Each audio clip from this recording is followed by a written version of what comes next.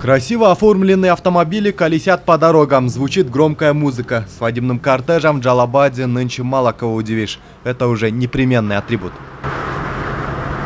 В основном джалабадцы арендовывают как минимум 10 очень дорогих автомобилей. Платят за это удовольствие зачастую друзья молодоженов, но не всегда. Чем круче автомобиль, тем дороже его арендовать. Хаммер, например, обойдется в 6 тысяч сомов за один день. Это если только в городе. Кто хочет выехать в районы, должны заплатить 15 тысяч.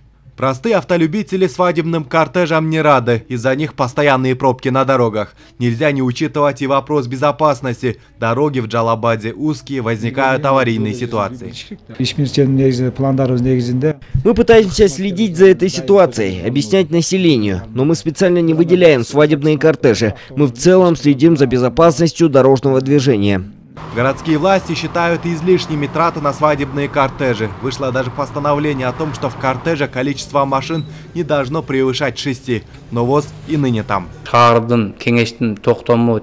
У нас в городе хоть что-то делается в этом направлении, а в районах все по-прежнему. Нужно и там выпускать такие постановления. Думаю, результат будет.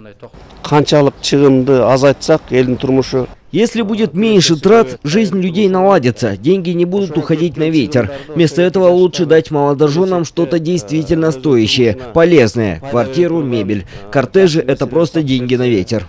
Лимузины на прокат и другие дорогие свадебные услуги просто хвастовство, показуха, считают противники излишних трат. Чтобы этого не было, общество должно созреть до того, что слишком активная демонстрация достатка – дурной тон. Канат Ханиметов, Нурказа Абдрахманова, Общественный первый канал.